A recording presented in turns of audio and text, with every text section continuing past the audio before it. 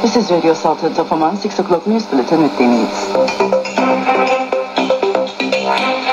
Here are the headlines.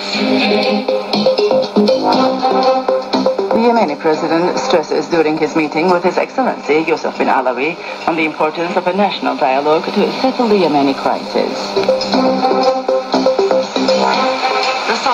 Confirms its commitment to the agreement in limiting the impacts of global warming on the International Day for the Preservation of Ozone Layer. At least 20 people, including a Red Crescent staff member, are killed by air raids that hit an aid convoy near Aleppo. And Iraqi forces launch an operation to retake the town of Sharqad from the Daesh group.